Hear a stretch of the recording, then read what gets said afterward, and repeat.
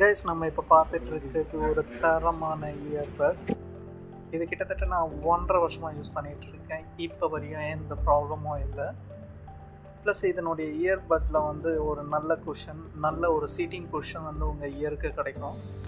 அது மட்டும் இல்லை நல்ல ரஃப்யூஸும் அடிக்கலாம். கீழே விழுந்தும் எந்த ப்ராப்ளமும் இது வரையும் நான் ஃபேஸ் பண்ணதில்லை. டவுட்ரானிக்ஸ் பெஸ்ட் இயர்பட்